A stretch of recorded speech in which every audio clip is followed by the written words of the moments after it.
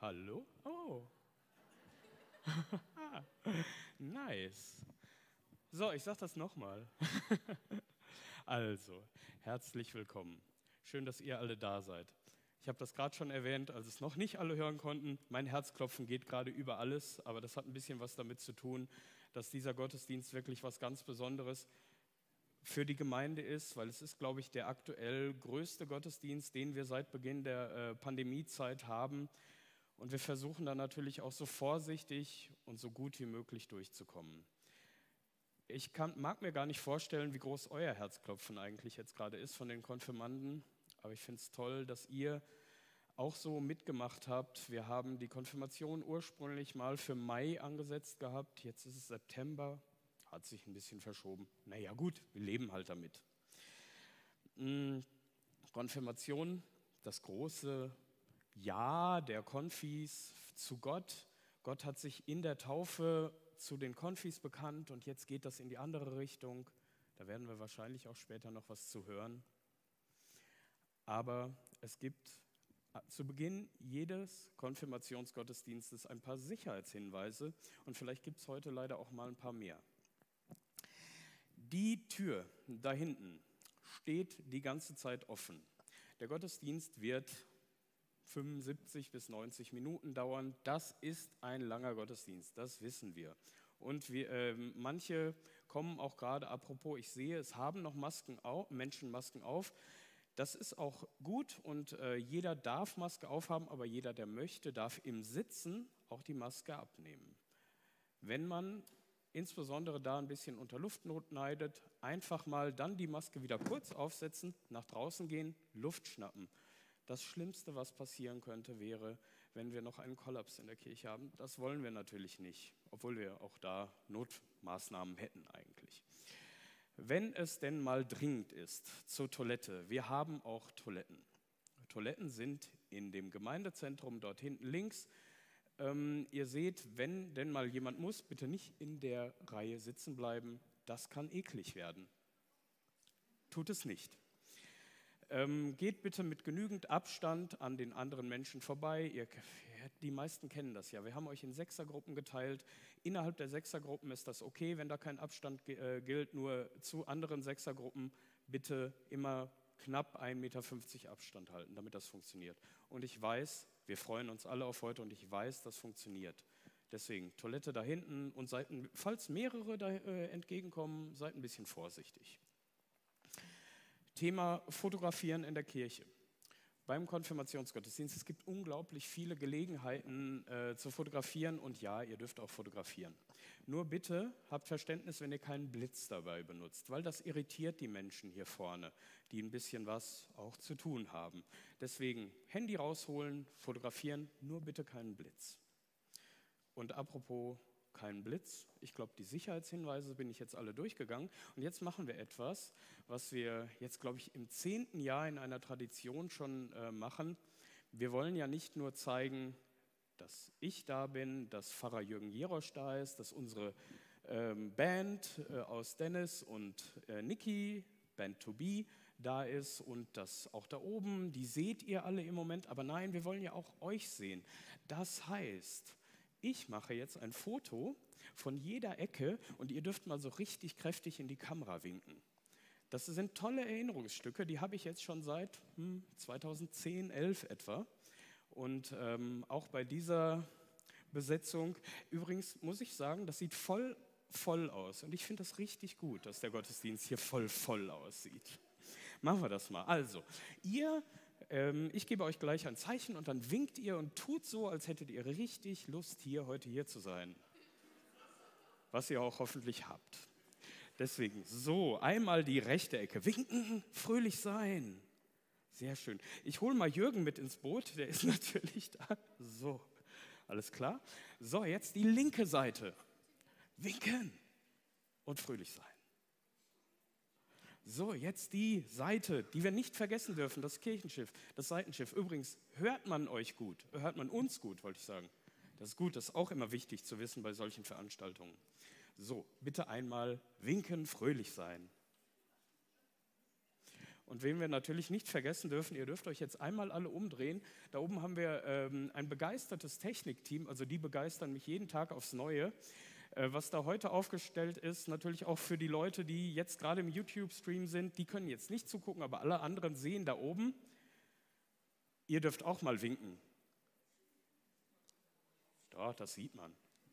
So, danke, vielen Dank. Und bevor wir ähm, gleich richtig durchstarten, möchte ich einmal, ähm, weil wir das während des Gottesdienstes nicht so gerne haben, wenn applaudiert wird, außer an Stellen, wo ich das sage, einmal kräftig für die ganze Organisation zu applaudieren, für die Techniker da oben, für die Band hier, für die Konfi-Mitarbeiter, für unsere Jugendreferentin, für den Pfarrer, die das alles hier unter echt Anstrengung im Moment in dieser Zeit auf die Beine gestellt haben. Einen kräftigen Applaus für euch.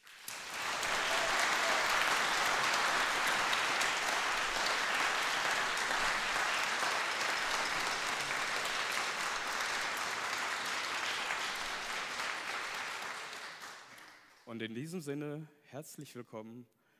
Gottes Segen für euch alle. Schön, dass ihr es geschafft habt zur Konfirmation Teil 1 in der Apostelkirche, in der Versöhnungskirchengemeinde, euch am Bildschirm. Es geht los.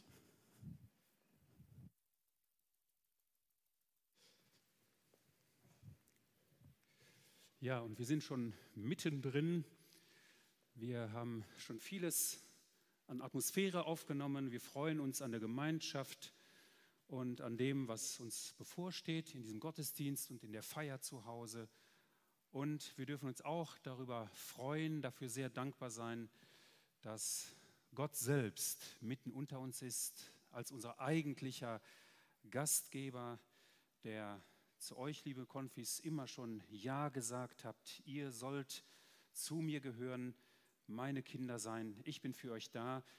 Dieser Gott, der ist auch dabei und freut sich an unserem Miteinander. Wir heißen auch ihn willkommen. Wir feiern unseren Gottesdienst im Namen Gottes, des Vaters und des Sohnes und des Heiligen Geistes. Unsere Hilfe steht im Namen des Herrn. Der Herr sei mit euch. Lasst uns beten, mit Gott reden. Danke, guter Gott, dass wir dich haben Du willst, dass unser Leben sich zum Besten entwickelt, dass es gut wird und gut bleibt und dass es gedeiht. Jedem von uns und uns alle willst du begleiten. Und so freuen wir uns heute, dass wir das hier miteinander feiern dürfen, dass du elf großartigen Jungen und Mädchen dein Ja, dein Segen zusprichst bei ihrer Konfirmation. Berühre ihr und auch unser aller Herz zu einem Ja zu dir. Denn bei dir ist alles heil. Bei dir sind wir in den besten Händen. Ohne uns willst du nicht sein. Habe Dank dafür. Amen. Jetzt kommt das erste Lied dieses Gottesdienstes. Es wird uns gesungen. Im Innern kann man mitsummen und singen, aber bitte nicht so rein äußerlich und mit Stimme, aber ich denke, es wird dennoch gut rüberkommen und wird unseren Gott ehren.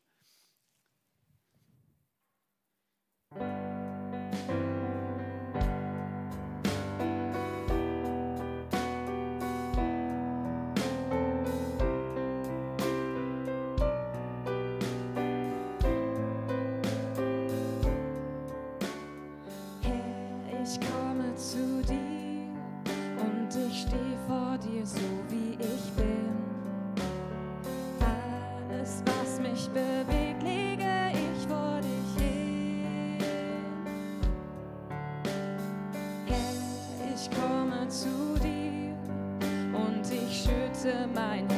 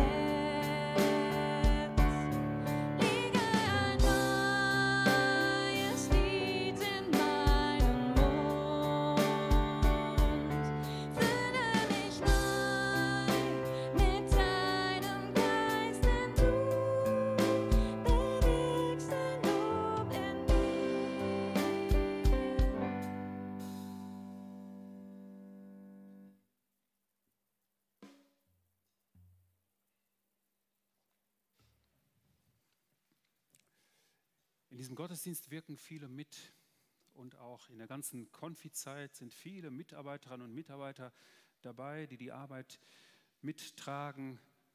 Hauptamtliche wie Alana Kokskemper zum Beispiel, viele Ehrenamtliche. Es ist ein großes Umfeld, was die Konfi-Arbeit auch mitträgt und begleitet, mal aus der Nähe, mal auch vielleicht eher so im Unsichtbaren.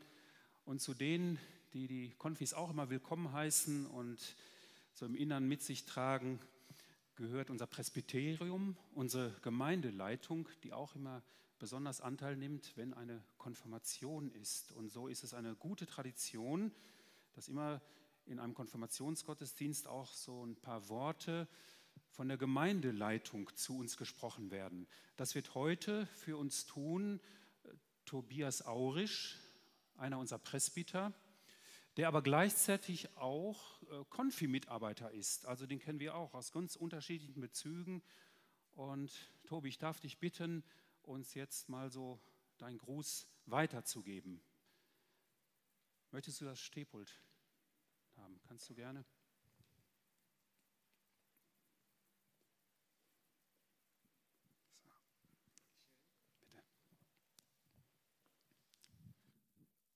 Liebe Konfirmanden und Konfirmanden, Kleider machen Leute. Ich musste an diesen Satz denken, weil letztes Jahr hat mir ein anderer Presbyter gesagt, wenn die Leute alle so schick angezogen sind, dann erkennt man sie kaum noch. Wo er recht hat, hat er recht.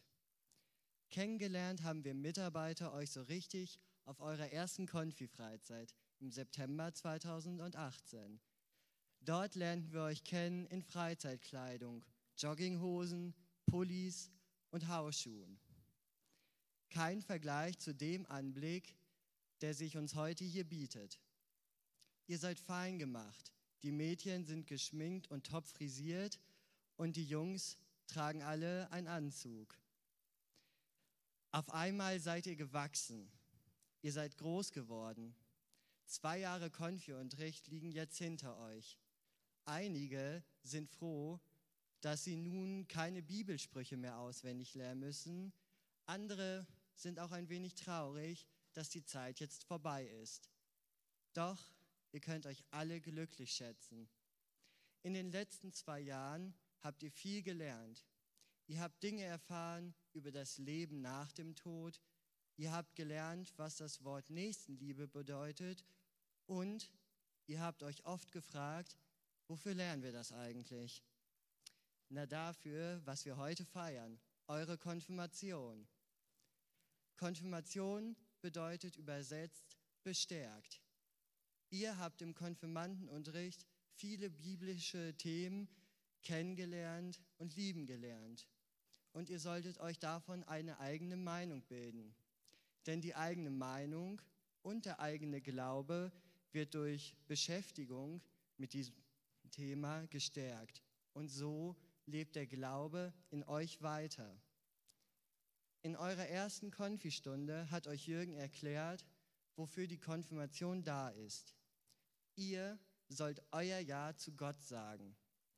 Durch die Taufe hat Gott euch schon bejaht und nach den zwei, für manche nie endenden Jahren, habt ihr euch dazu entschieden, Gott euer Ja zu geben, euch zu Gott zu bekennen und in seinem Namen zu handeln. Ihr seid nun große Leute. Durch die Konfirmation ist es euch erlaubt, am Abendmahl teilzunehmen und eine Taufpatenschaft zu übernehmen. Gott ist sehr stolz auf euch. Eure Eltern und Familien sind stolz auf euch. Wir Mitarbeiter sind stolz auf euch. Aber am allerwichtigsten ist, dass ihr stolz auf euch sein könnt. Denn ihr habt es geschafft. Ihr habt die letzten zwei Jahre geschafft. Heute ist euer Tag und den sollt ihr genießen. Zum Abschluss möchten wir euch noch ein Gedicht mit auf den Weg geben. Verlasse dich auf den Herrn, denn er ist für dich da. Er hilft dir immer gern und ist dir täglich nah. Du kannst ihm alles sagen und ihn um Hilfe fragen. Er sorgt für sein Kind, das ihm Vertrauen schenkt. Vertraue ihm einfach blind, weil er dein Leben lenkt. Und in diesem Sinne kann ich im Namen des Presbyteriums und der Mitarbeiterschaft nur sagen, tschüss, es war eine coole Zeit mit euch.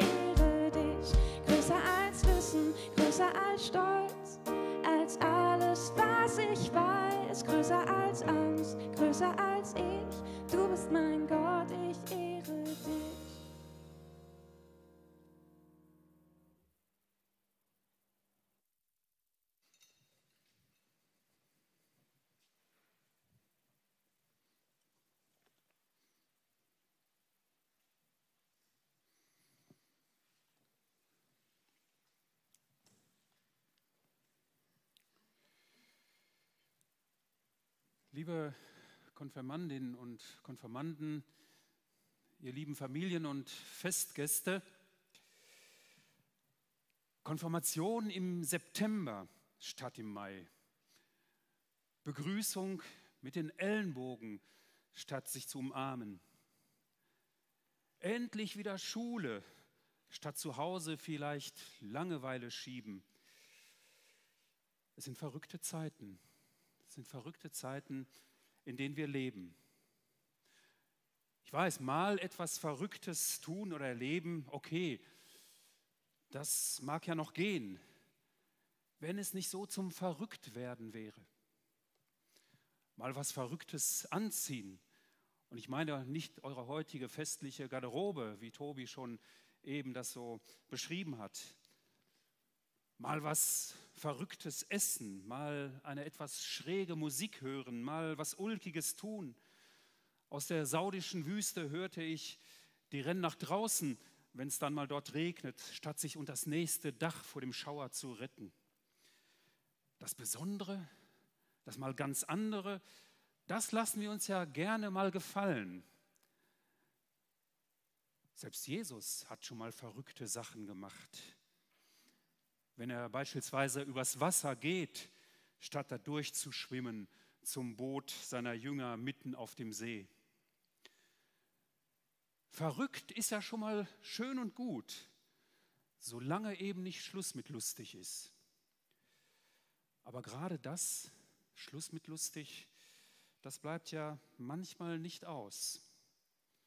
Dass wir eben zu spüren bekommen, in was für einer verrückt gewordenen Welt wir eigentlich leben. Wo im Osten unliebsam gewordene Kritiker vergiftet werden, ohne dass jemand mit Bestrafung rechnen muss. Wo im Westen von oberster Stelle ungeniert geschmäht und gelogen wird, ohne dass es viele sonderlich zu stören scheint oder ins Nachdenken bringt. Wo im Süden reihenweise flüchtende Menschen im Mittelmeer ertrinken, ohne dass wir Notiz von nehmen. Und wo sich im Norden in eigentlich eisigen Regionen ungewohnt neue Seewege auftun, ohne dass das irgendjemanden komisch vorkäme. Und wo überall nun, das ist die verrückte Welt, wo überall nun auf Erden ein für uns unsichtbares Virus eine ganze Welt so sehr vor sich hertreibt, wie wir es noch von Anfang des Jahres niemals für möglich gehalten hätten. Dass das uns alle so in Schach halten kann. Die Jünger von Jesus im Boot mitten auf dem See, zu denen Jesus damals angelaufen kam, die hätten vor dem Losfahren, vor dem Auslaufen auch niemals geahnt, was sie nur wenig später einholen würde, was da auf sie zukommen würde, an Aufregung, an Schrecken. Sonst wären sie gar nicht losgefahren. Jedenfalls, als Jesus sie bat und bewegte, schon mal vorzufahren, nach einer Riesenveranstaltung war das, da schien die Welt ja noch in Ordnung zu sein. Ihr kennt die Geschichte, die hatten wir auch schon mal so behandelt und drüber gesprochen. Ich lese sie uns mal aus dem 14. Kapitel des Matthäusevangeliums.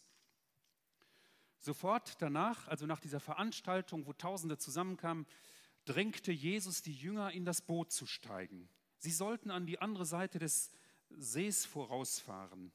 Er selbst wollte inzwischen die Volksmenge verabschieden. Nachdem er die Volksmenge verabschiedet hatte, stieg er auf einen Berg, um in der Einsamkeit zu beten.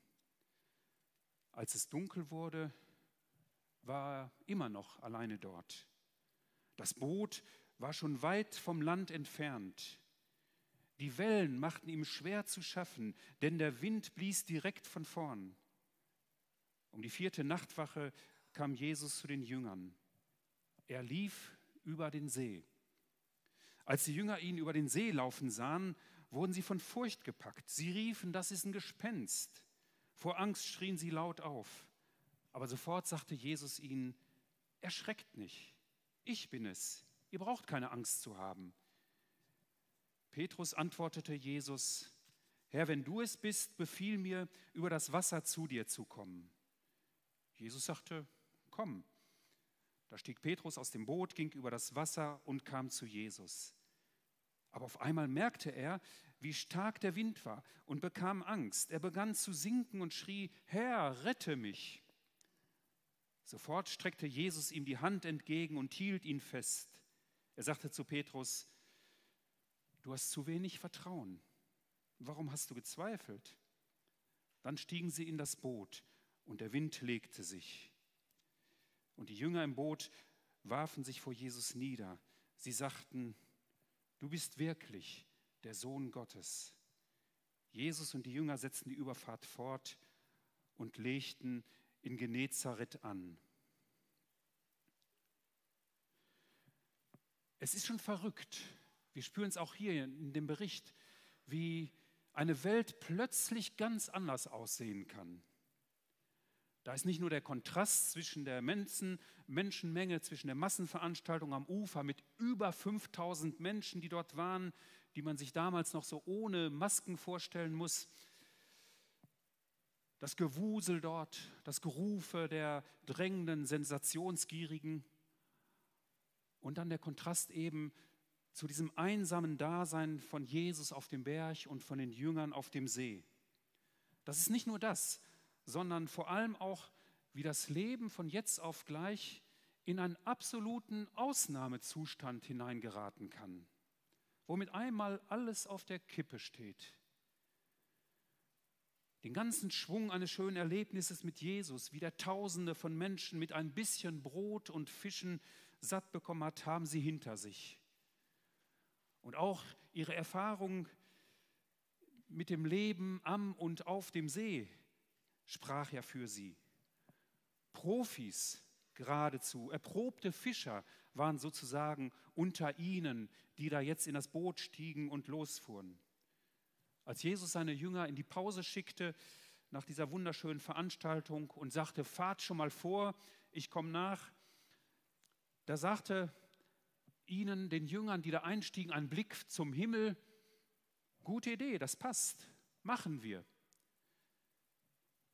Jürgen Werth, der fing mal diese positive, selbstgewisse Stimmung der Jünger in dieser Situation für ein Lied ein und dichtete, man muss sich die Jünger jetzt so vorstellen, die da losfahren, das kriegen wir hin.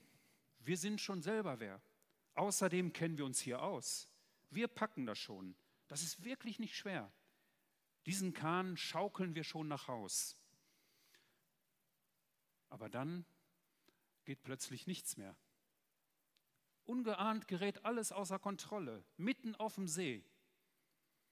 Unvorhersehbare Fallwinde von der Klippenseite zum See hin, die wehen stürmisch runter auf die Wasseroberfläche und über diese Oberfläche hinweg und wühlen dabei mit einmal das Meer gefährlich auf. Nach einigen erfolglosen Manövern werden selbst die erfahrensten Seeleute unter den Jüngern nervös. Sie werden ratlos und ängstlich, so dass Jürgen Wert weiter dichten muss, wir kriegen es nicht hin. Dieser Job ist zu schwer. Wir kennen uns gar nicht mehr aus. Es packt uns am Schopf, reißt hin uns, reißt uns her. Nur du, Jesus, bringst uns sicher nach Haus. Wir sehen auch dies in unseren Tagen mit der Pandemie, wie schnell das so normale Leben, das wir zu beherrschen meinen, das uns so selbstverständlich erscheint, plötzlich stockt und uns richtiggehend aus dem Tritt bringt, so dass wir nur noch improvisieren können und hoffen, dass die Gefahr bald vorbei ist. Ja, in diesen Zeiten und Monaten, klar, wir lernen auch eine Menge hinzu. Und ich sage hoffentlich, hoffentlich lernen wir eine Menge dazu. Hoffentlich auch ein wenig mehr Respekt zu haben vor den Gesetzmäßigkeiten der Schöpfung, in der wir leben. Mehr Respekt auch vor den Geboten und Ordnungen, die ein vernünftiges Zusammenleben auf Erden uns ermöglichen. Denn wir merken es ja gerade, am Ende ist ja nicht, wo wir sind vorne. Am Ende sind nicht wir die Bestimmer. Am Ende sind nicht wir die großen Herren über alles andere, sondern es gibt manchmal auch Größeres, dem wir uns beugen müssen. Genauer gesagt, Und das ist jetzt eine gute Botschaft. Genauer gesagt, es gibt den Größeren. Gott. Gott, der uns geschaffen hat und der weiß, wie es geht. Und der sein ganzes Herz in unsere Welt hineingeworfen hat, damit eben unser Leben gelingt und wir Rettung finden. Für unseren Weg, für unsere Wege hier auf Erden schon und für immer, für ewig. Und zwar, so sagt uns die Bibel, begegnen uns Gottes Herz und seine Liebe zu uns in einer Person, nämlich in Jesus, von dem wir schon so viel jetzt gehört haben. In Jesus begegnet uns Gott, der seine Jünger damals eben schon mal so auf den Weg schickte und ihnen sagte, fahrt schon mal los. Und der auch uns auf den Weg schickt und auch immer schon auf den Weg geschickt hat. Der uns auf den Weg schickt, der oft, sehr häufig auch schön ist, der uns gefällt, wo wir uns entfalten, entwickeln können. Einem Weg, der in unserem Leben oft schön ist, aber eben auch Gefahren kennt. Wir sind manchmal auch in Gefahren.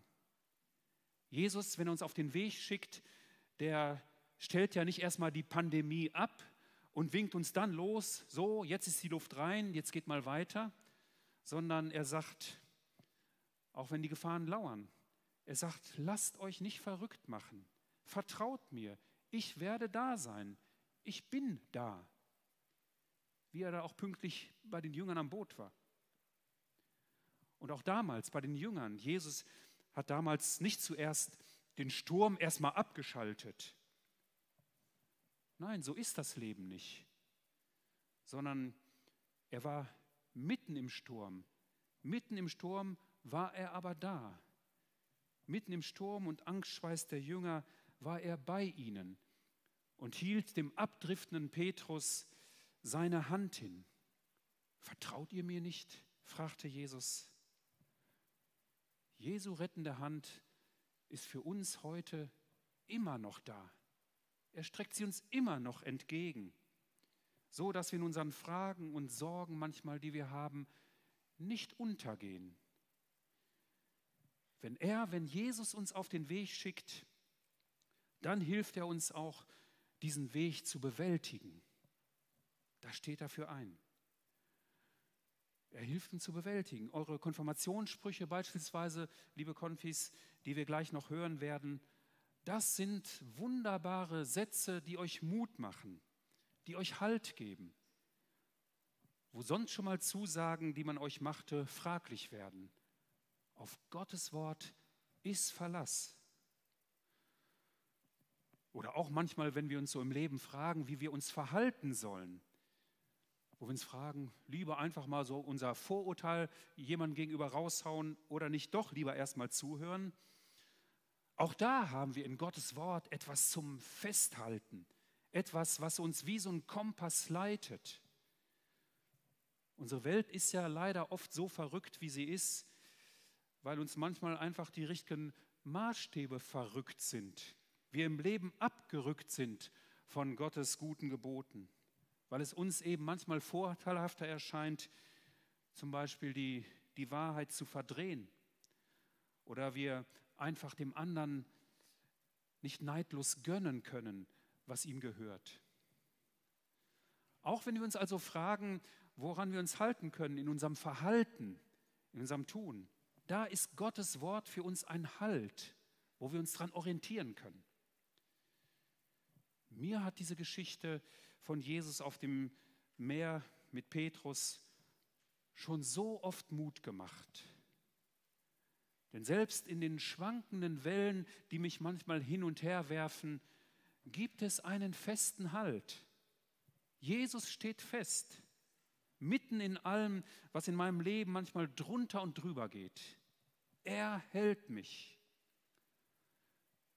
Und auch ihr, liebe Konfirmandinnen und Konfirmanden, seid herzlich eingeladen, heute die zu euch hin ausgestreckte Hand Jesu zu ergreifen, euch an ihn festzuhalten, festzumachen. Das bedeutet ja, wie wir eben auch schon so ein bisschen hörten, das Wort Konfirmation von seiner sprachlichen Seite her. Das kennen wir ja selbst vom Englischen her. To confirm. Ich mache es fest. Ich bestätige die Buchung. Den Deal meines Lebens, den Gott in meiner Taufe mit mir machte, den bekräftige ich nun meinerseits. Er, der mir sein großes Ja gegeben hat, dem sage ich zu, dass auch er einen Platz in meinem Herzen hat. Und ich vergewissere mich, das steckt alles in Confirm drin, ich vergewissere mich in meinem Vertrauen zu Gott, dass ich sein geliebtes Kind sein darf. Ich stehe fest, weil mich einer hält. Bei allem, was sich um mich herum manchmal verrückt und verschiebt. Meine Frau erzählte mir vor ein paar Tagen von einer Schrecksekunde auf dem Parkplatz vom Nahversorgungszentrum am Breuken. Sie parkte dort rückwärts in eine Parkbox ein und in dem Moment, wo sie schon stand, den Fuß noch auf der Bremse, fuhr gerade das Auto neben ihr, für sie ohne vorhergehende Anzeichen, nach vorne, um wegzufahren.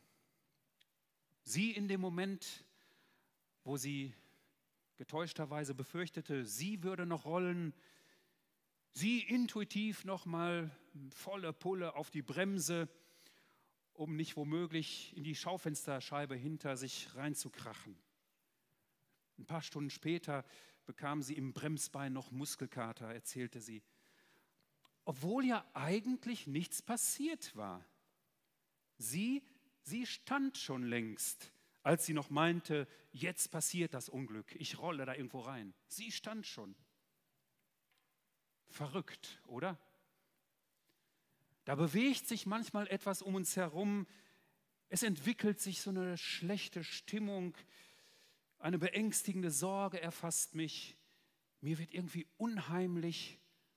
Und ich müsste gar nicht in Panik geraten, weil ich feststehe, weil ich gehalten bin.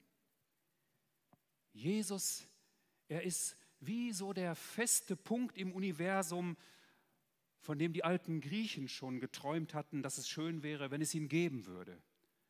Einen festen Punkt nur, sagte der Mathematiker und Naturforscher Archimedes, gebt mir in den weiten All, wo alles so auseinanderdriftet oder in sich zusammenfällt, gebt mir nur einen festen Punkt und ich könnte den Hebel anlegen, die Welt aus den Angeln heben.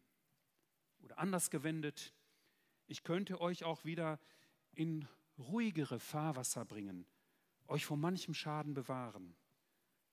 Ich könnte Bedrohendes abwenden oder lösbar machen. Jesus kann das. Er ist wie der Fels in der Brandung. Die Jünger damals auf dem See, die haben es erlebt. Und der Halt für sie, er war dann auch noch im Boot, in das Jesus dann mit einstieg. Alle Angst fiel dort von ihnen ab, ganz so wie auch dann der Sturm wich. Sie hatten im Wüten der Naturgewalten ihre Grenzen kennengelernt, es ganz brutal erlebt. Aber jetzt, jetzt haben sie den noch stärkeren bei sich. Sie wissen jetzt, mit Jürgen Wert gedichtet, nur du kriegst das hin. Dir ist gar nichts zu schwer. Du kennst dich mit dieser Welt aus. Wir tun, was du sagst. Dadurch werden wir wer. Nur du bringst uns sicher nach Haus. Nehmt, liebe Konfis, eure Wege mit Jesus im Boot. Was auch manchmal querlaufen mag und uns verrückt machen will. Wir bleiben im Herzen fest, weil er Jesus uns festhält. Amen.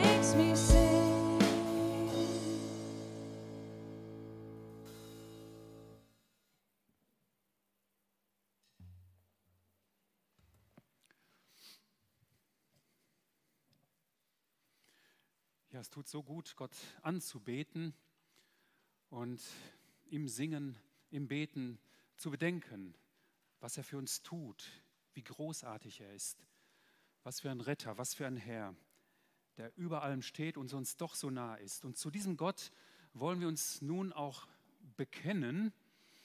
Wir sprechen wie eigentlich in jedem Gottesdienst jetzt auch unser Glaubensbekenntnis. Das wollen wir aber heute tun, ganz bewusst im Blick auf eure Konfirmationshandlung, ihr lieben Konfirmandinnen und Konfirmanden.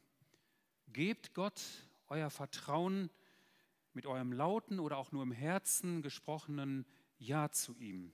Wenn wir nun alle als Gemeinde aufstehen und in die Worte gemeinsam einstimmen und sie sprechen, es kommt gleich das Glaubensbekenntnis. Ich glaube an Gott, den Vater, den Allmächtigen, den Schöpfer des Himmels und der Erde. Und an Jesus Christus, seinen eingeborenen Sohn, unseren Herrn, empfangen durch den Heiligen Geist, geboren von der Jungfrau Maria, gelitten unter Pontius Pilatus, gekreuzigt, gestorben und begraben, abgeschieden in das Reich des Todes, am dritten Tage auferstanden von den Toten, aufgefahren in den Himmel. Er sitzt zur Rechten Gottes, des allmächtigen Vaters. Von dort wird er kommen, zu richten die Lebenden und die Toten.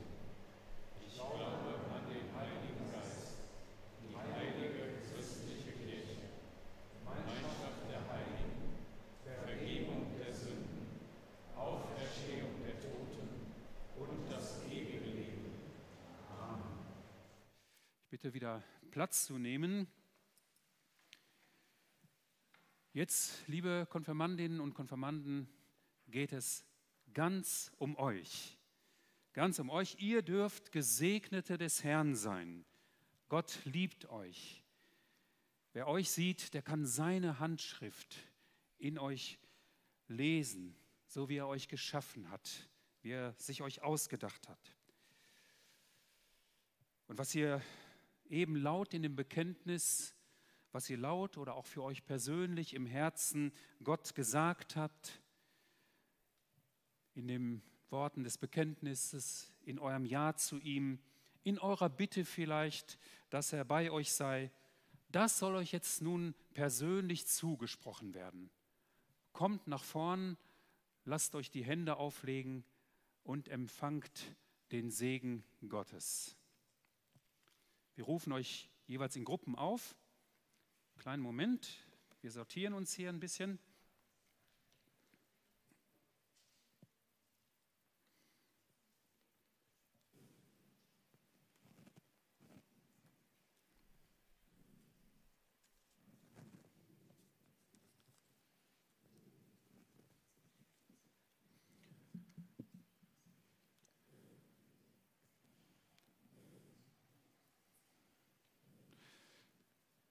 Zunächst bitten wir nach vorne Eileen Bastian, Stella König, Marlene Müller und Elisabeth Weimann. Kann ich die hier nehmen?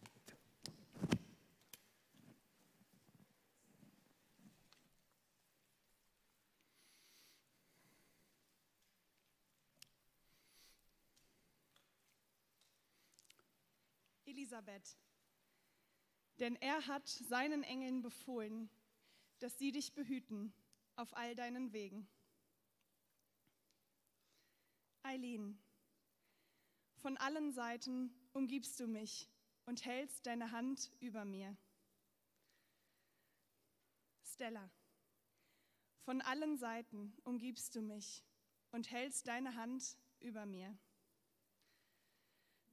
Marlene, Gott sagt, fürchte dich nicht, denn ich habe dich erlöst. Ich habe dich bei deinem Namen gerufen. Du bist mein.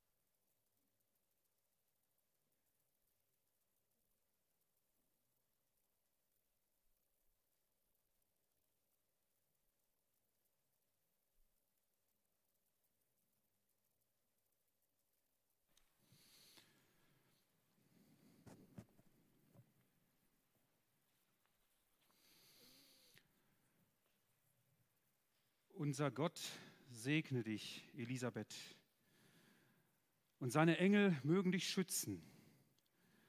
Gottes gute Gegenwart begleite dich spürbar auf deinen Wegen und bewahre dich vor allem Bösen. Gottes Liebe möge in dir zu Hause sein. Sie möge dich selbst berühren und dich zu einem Segen werden lassen für die Menschen, die dir begegnen. Zu Hause, in Schule und Alltag und wo immer du unterwegs bist. Friede sei mit dir.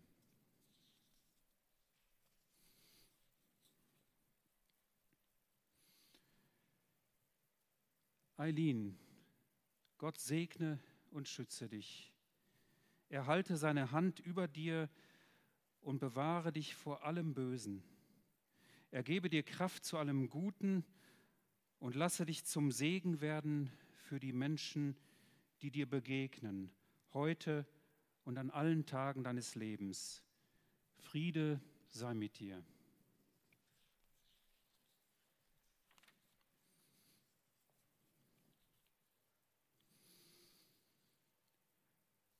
Unser Gott segne und schütze dich, Stella. Wie mit einem Schirm umhülle er dich und bewahre dich vor allem Bösen. Er möge dich immer neu Gutes sehen lassen und dir helfen, dass du auch anderen zum Segen wirst. Allen, mit denen du lebst und die dir begegnen, heute und an jedem neuen Tag. Friede sei mit dir.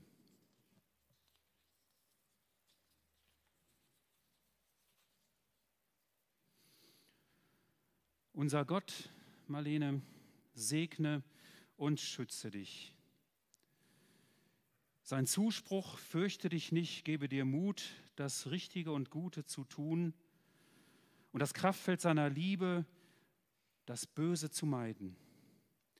Er lasse dich reichlich Segen erfahren auf deinem Weg und lasse auch dich zu einem Segen werden für die Menschen, die dir begegnen, heute und immer neu.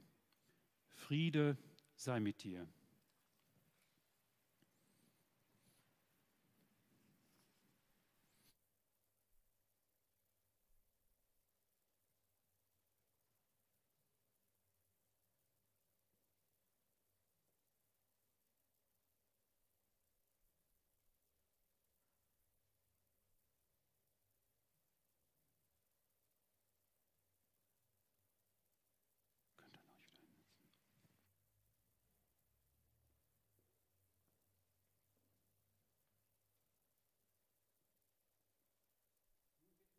Nach vorne Zoe Andreadis, Jule Aumeier, Melanie Bayer und Chiara Wengenroth.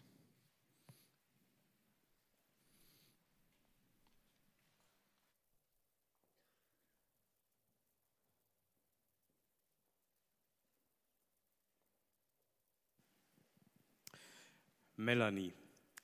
Jesus sagt, lasst die Kinder zu mir kommen, hindert sie nicht daran, denn Menschen wie ihnen gehört das Reich Gottes. Chiara. Der Herr segne dich und behüte dich. Der Herr lasse sein Angesicht leuchten über dir und sei dir gnädig. Der Herr erhebe sein Angesicht über dich und gebe dir Frieden. Zoe. Wer nicht liebt, der kennt Gott nicht, denn Gott ist Liebe. Jule. Ein Mensch sieht, was vor Augen ist, der Herr aber sieht das Herz an.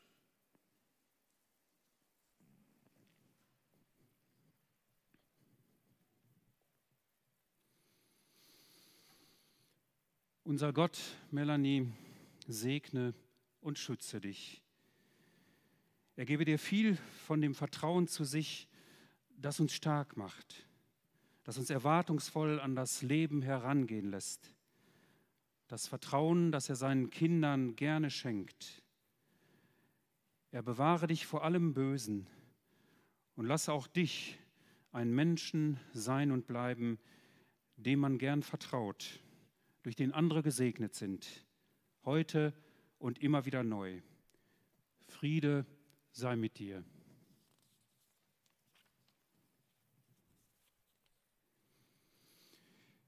Chiara, Gott segne und schütze dich. Sein Gesicht, das dir entgegenstrahlt, erfülle dich mit Freude und Kraft. Er bewahre dich vor allem Bösen und beschenke dich so mit seinem Frieden, dass von seiner Güte viel auch aus dir herausstrahlt, hin zu anderen Menschen hin. Er lasse dich anderen zu einem Segen werden, für die Menschen, mit denen du lebst und die dir begegnen, heute und auch sonst auf dem Weg, der vor dir liegt. Friede sei mit dir.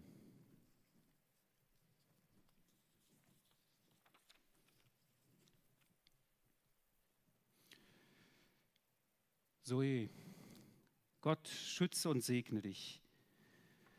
Er schenke dir guten Mut und lasse dich nie an seiner Liebe zweifeln. Gottes Gegenwart sei eine Kraft in dir, die dich vor allem Bösen bewahrt und das Gute in dir immer neu erweckt. Unser Gott gebe dir, was du selbst immer brauchst und lasse dich zum Segen werden für die Menschen, die dir begegnen heute und an allen Tagen deines Lebens. Friede sei mit dir.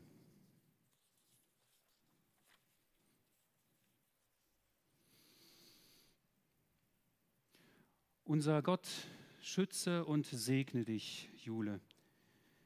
Er, der dich von Herzen kennt und liebt, bewahre dich vor allem Bösen und stärke dich zu allem Guten. Er weiß, was du brauchst. Er weiß dich zu beschenken mit allem, was dir Freude und Erfüllung gibt. Und er lasse dich auch zu einem Segen werden für die Menschen, die dir begegnen, heute und immerfort. Friede sei mit dir.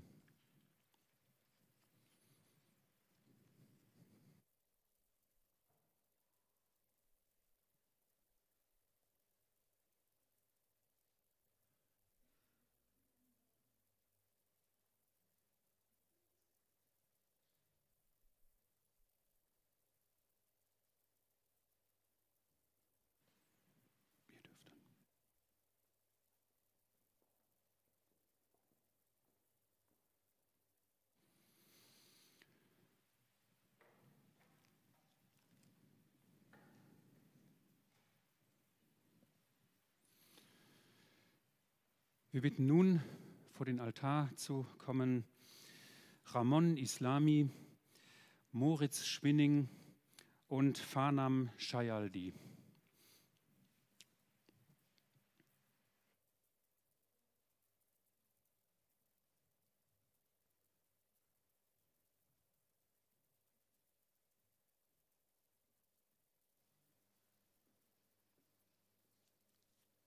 Ramon, Gott sagt, ruf mich an in der Not, so will ich dich erretten und du sollst mich preisen.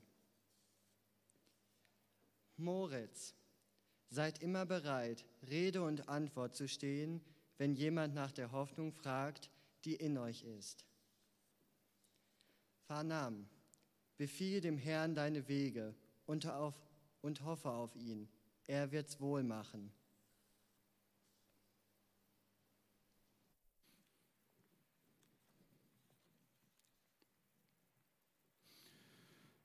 Unser Gott segne und schütze dich, Ramon.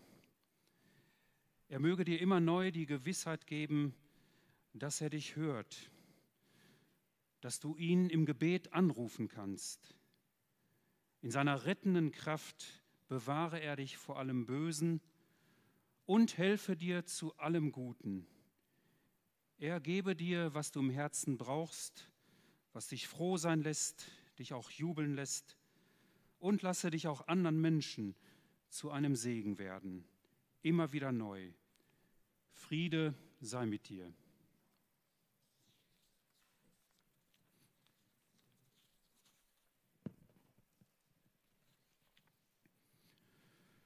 Moritz, Gott segne und schütze dich. Er mache dich stark, zu dem zu stehen, woran du glaubst und was dir Hoffnung gibt. Er bewahre dich davor, dem Bösen, wo immer es lauert, Gehör und Raum zu geben und bereite in dir immer wieder einen fruchtbaren Boden für das Gute. Menschen, denen du begegnest, mögen mit dir und durch dich gesegnet sein, heute und auch in den weiteren Zeiten deines Lebens. Friede sei mit dir.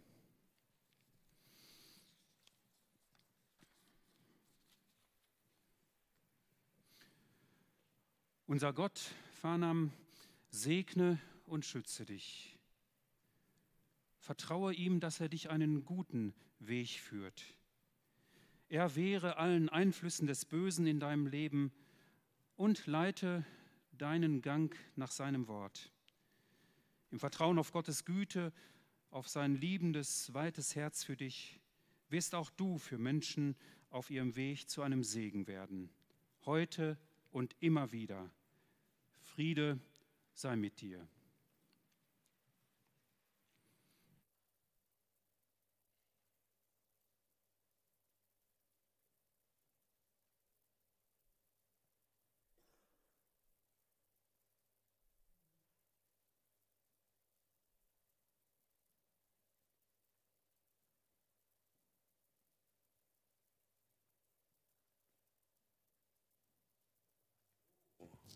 Ja.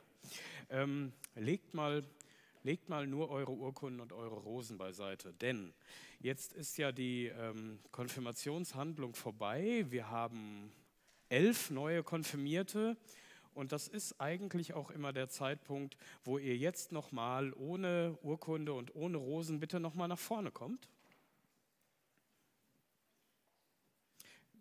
Könnt ihr ja, hier müsste, solltet ihr sowieso wieder ablassen. Jetzt kommt mal erstmal nach vorne.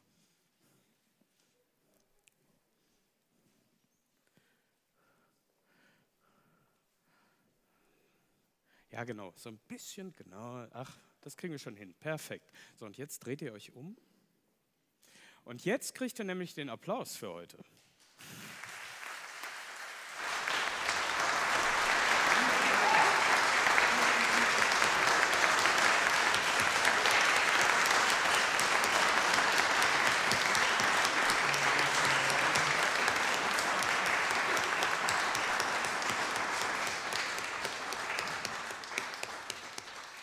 Genau, ihr habt schon gemerkt, jetzt ist auch die Zeit, ein paar Fotos zu machen, aber ihr werdet wahrscheinlich ja nach dem Gottesdienst auch noch Zeit haben, reichlich Fotos vor der Kirche zu machen. Wer noch nicht so rausgeguckt hat, das Wetter hat sich auch deutlich aufgehellt im Gegensatz zum Vor der Konfirmation gerade. Deswegen macht noch ein paar Fotos, so wie ihr mögt, und dann dürft ihr euch auch wieder setzen.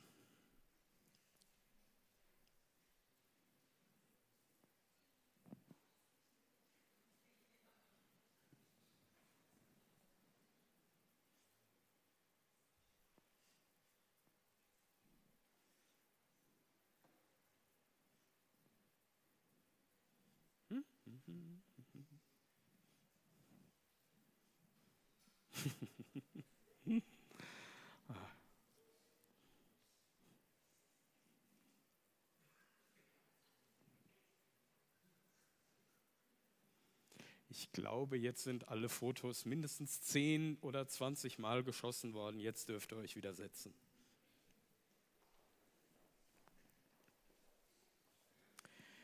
In jedem Gottesdienst ähm, wird auch eine Kollekte eingesammelt, auch hier, aber erst am Ausgang.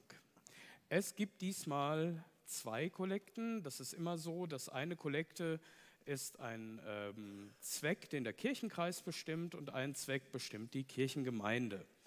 Ich darf auf beide Zwecke hinweisen. Ich fange mal mit dem kreiskirchlichen Zweck an. Der ist nämlich eine allgemeine Jugendarbeit-Kollekte. Das ist ganz wichtig. Das geht dann an den Kreis und der Kreis hat ja auch noch eine eigene äh, Jugendarbeitsstelle und die muss auch Unterstützung finden.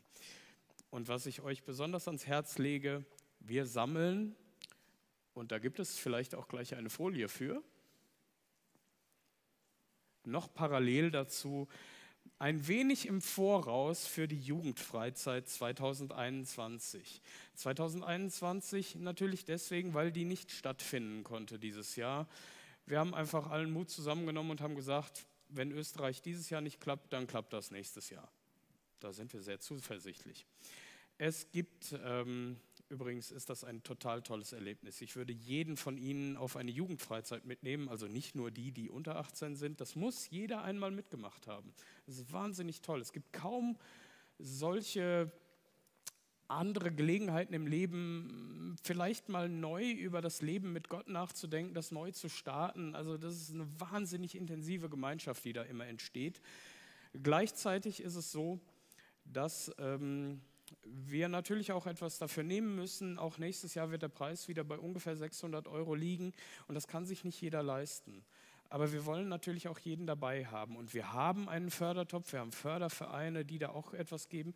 Aber wir wünschen uns so sehr, dass Sie als Gemeinde uns auch dabei unterstützen. Deswegen freue ich mich sehr, wenn, ähm, wie ein anderer Presbyter-Kollege immer sagt, äh, Sie heute die, das eine Mal die Gelegenheit haben, ein Scheinewerfer zu sein. Also Sie verstehen, einen Schein und so hinten in die Kollekte für Österreich.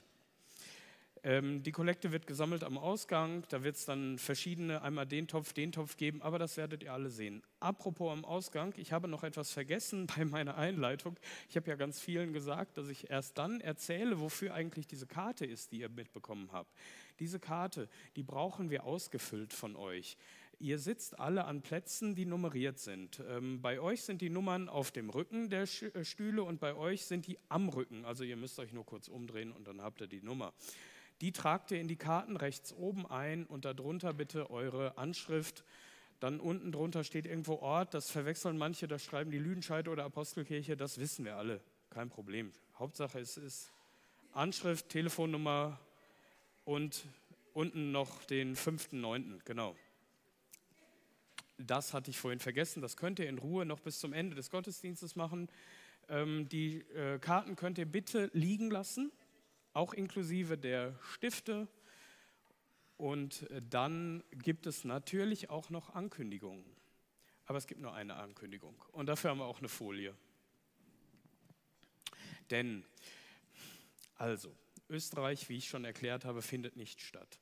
Wir haben uns aber überlegt, dass das eigentlich schade ist, so ein ganzes Jahr komplett ohne Freizeit zu machen. Wir haben die Möglichkeit im kleineren Rahmen, also wir werden nicht mit 70 Leuten dahin fahren können, vielleicht mit 20, 24, schauen wir mal, äh, in den, äh, in den Herbstferien in der zweiten Woche wieder mal zum Lagesberg nach, äh, nach Hessen zu fahren. Das ist in der Nähe von Kassel. Das ist ein tolles Haus, was wir seit vier Jahren regelmäßig ein bis zweimal im Jahr besuchen und was einfach schon so eine zweite Heimat neben Lüdenscheid auch geworden ist. Und ich lade jeden davon ein, jeden von euch dazu ein, einfach mal mitzukommen. Einige waren auch schon mit, kennen das Haus. Wenn ihr mit möchtet, meldet euch einfach bei mir. Ihr kriegt dann die Anmeldung und so weiter und so fort. Ansonsten gibt es nicht viel anzukündigen. In euren Reihen lagen die Monatszettel oder liegen die Monatszettel. Ich habe für jede Familie einen verteilt. Nehmt die einfach mal mit nach Hause. Da steht ganz viel drin, was in unserer Gemeinde noch so los ist. Kommt vorbei. Apropos, kommt vorbei. Natürlich ist der Jugendkreis für euch auch immer geöffnet. Also, äh, wie sagte ein anderer immer, eine Konfirmation ist ja nicht ein Punkt, sondern ein Doppelpunkt. Das heißt, man kann da auch weitergehen in Gemeinde. Kommt einfach mal donnerstags beim Jugendkreis mit den neuen Zeiten, 18 bis 20.30 Uhr vorbei. Und das war es auch schon von mir. Weiter geht's mit Jürgen. Ja, lasst uns noch einmal beten, Fürbitte halten. Wenn es geht, bitte ich dazu aufzustehen. Herr, wir danken dir, dass du uns ein fester Halt bist, dass wir uns auf die Zusagen deines biblischen Wortes verlassen dürfen. Zusagen, die heute insbesondere unsere Konfirmandinnen und Konfirmanden bekommen haben. Lass diese Worte sie begleiten und ihnen immer viel bedeuten. Herr, dein Wort, das hilft uns auch darauf zu achten, was unseren Schritten durchs Leben eine gute Richtung gibt. Und so bitten wir dich, gib, dass wir nicht aufhören, nach dir zu fragen. Wir danken dir, Gott, für die Menschen, die uns auf unseren Wegen mit ihrer Liebe begleiten. Danken dir für unsere Eltern, für unsere Geschwister, unsere Paten, unsere Kinder und Enkel, unsere Freunde und Bekannten. Wir danken dir auch für alles Miteinander mit Menschen, die auch sonst unseren Weg säumen. Und wir bitten dich, behüte uns alle miteinander an jedem neuen Tag. Erhalte in uns Einigkeit in Wohlwollen und gegenseitiger Fürsorge. Hilf auch den Menschen, die in öffentlicher Verantwortung stehen, dass sie immer neu zu guten Entscheidungen finden und hilf auch uns selbst, gerade in dieser Zeit der Pandemie, unsere persönliche Verantwortung jeweils zu sehen. Denn auch auf uns kommt es an. Herr, wir bitten dich dann auch für alle, die krank sind oder einsam, die in Sorge sind, was die Zukunft ihnen bringen wird. Hilf ihnen. Und wo wir helfen wollen, lass es gelingen. Wir bitten dich, himmlischer Vater, um Frieden in unseren Häusern und auf der ganzen Erde. Auch da, wo gerade wieder Gewalt aufflammt und Menschen Freiheit und Recht genommen wird. Und segne auch uns als Gemeinde hier, dass wir teilhaben an einer Botschaft, an einem Leben, das anderen Menschen Hoffnung macht. Hilf uns Ansprechstationen, ein Ort für gute Gemeinschaft und für viele wie eine Familie zu sein. Dir, dem ewigen dreieinigen Gott, sei Lob und Ehre, Preis und Anbetung, jetzt und alle Zeit. Und wir beten weiter mit den Worten, die du uns geschenkt hast. Vater unser im Himmel, geheiligt werde dein Name, dein Reich komme, dein Wille geschehe, wie im Himmel, so auf Erden. Unser tägliches Brot gib uns heute und vergib uns unsere Schuld, wie auch wir vergeben unseren Schuldigern. Und führe uns nicht in Versuchung, sondern erlöse uns von dem Bösen. Denn dein ist das Reich und die Kraft und die Herrlichkeit und Ewigkeit. Amen. Wir können noch Platz nehmen zu einem Lied, was uns zum Segen hinleitet.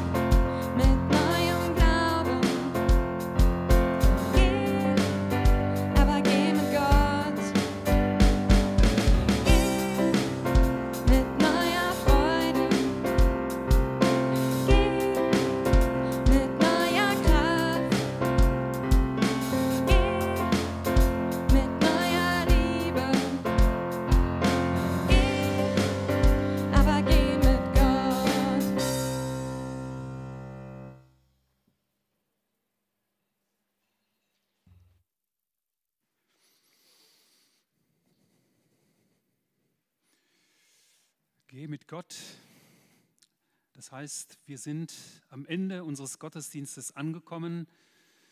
Er war festlich, bunt, schön, vielleicht auch ein bisschen lang, aber ein Gottesdienst, der sich gelohnt hat und der unter dem Zuspruch Gottes stand und den wir, denke ich, so schnell auch nicht vergessen werden. Wir werden den Gottesdienst gleich so beenden, dass unsere Konfis wieder festlich aus der Kirche ausziehen werden. Und Sie als Gemeinde bitten wir dabei aufzustehen, stehen zu bleiben auf Ihren Plätzen, bis die Konfis raus sind und sich dann eben den Zug anzuschließen. Und draußen werden wir von den Konfis noch ein Gruppenfoto machen. Von daher bitte ich um ein bisschen Geduld, dass wir noch nicht sofort auseinanderstreben in die Familien, sondern uns noch ein bisschen Zeit nehmen können für das Foto und vielleicht auch für den einen kleinen Plausch hier und dort.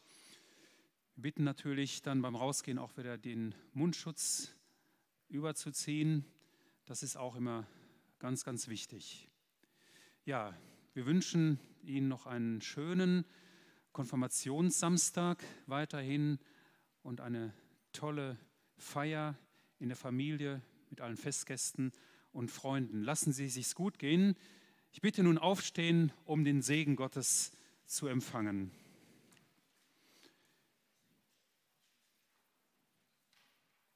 Ja, geht hin im Frieden des Herrn. Der Herr segne dich und behüte dich. Der Herr lasse sein Angesicht leuchten über dir und sei dir gnädig. Der Herr hebe sein Angesicht auf dich und gebe dir Frieden. Amen. Auf Wiedersehen.